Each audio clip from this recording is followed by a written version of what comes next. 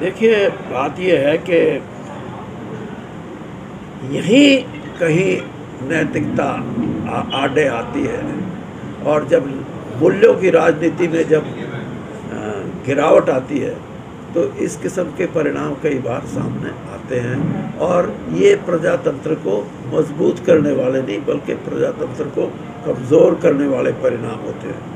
मैंने तो एक बार गुड़गांव में ये जो ये सोसाइटी होती है ना work welfare society R W R W वालों ने बुला लिया वहाँ मैंने पूरा भाषण ठोक दिया इसी बात पे।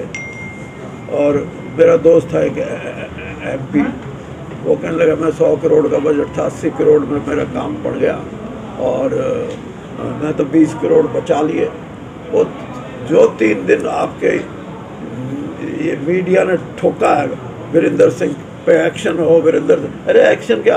और मैंने तो शुक्र है उसका नाम नहीं लिया ना तो ये एक्शन भी करते। तो इस तरह की राजनीति क्या है भाई? दिस इज़ नो पॉलिटिक्स बिकती है राज्यसभा की सीट? बिकने की बात नहीं है।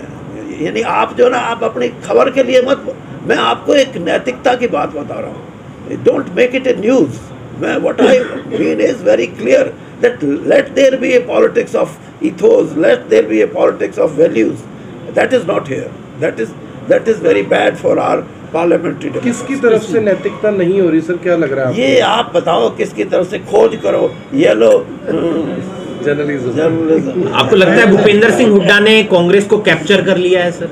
देखिए भूपेंद्र सिंह हुड्डा हो या कांग्रेस एक बहुत बड़ी संस्था है। मैं तो बयालीस साल रहा हूँ और प्रयास तो उसके हैं लेकिन बात तो देखो, कोई पॉलिटिकल पार्टी किसी के कैप्चर होने से नहीं होती। लोग कैप्चर करना ज़रूरी है।